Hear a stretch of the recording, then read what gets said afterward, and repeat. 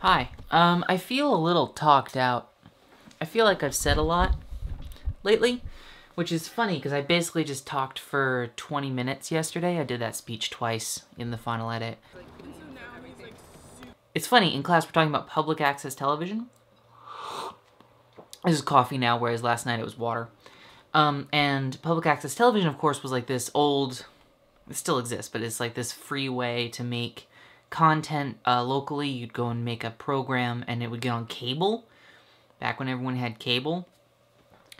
And it was funny, it was described in the reading as um, basically a phone book, like the bulletin boards where everyone would write down their names, read like a phone book, because all of the programs were just talking head programs where the name of the show was the person's name. Which is essentially a large part of YouTube, and YouTube keeps coming up in our discussions. And the teachers are like, well, not everyone has the internet. But that's not true. But, you know, we're, we're learning about, like, a historical thing. Um, I'm gonna put a... Theoretically, my group is gonna make a program and we're gonna put it on public access television, which is super strange. Um, everyone's making... Everyone's making four minute long movies to be shown on, on cable, essentially. And I'm just thinking to myself, so the program this time is make a bunch of YouTube videos and put them on television.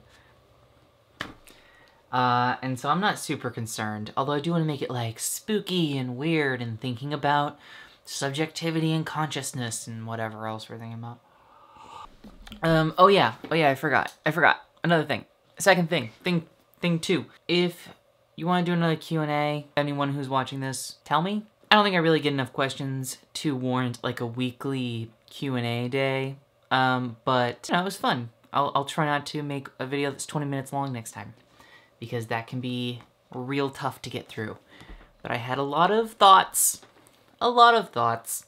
So this morning I got across campus a lot faster than I thought I would. And so just now I made the mistake of leaving the house two and a half minutes before I'm supposed to be at the library, which uh, turns out I can't get all the way across campus in two and a half minutes. So there you go. Don't make that mistake, I guess.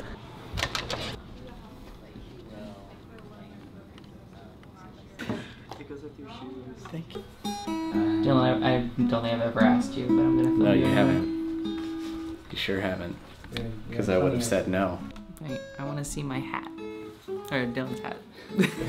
Yeah, you don't want to say that's your hat. no, Dylan brought a an inflammatory hat.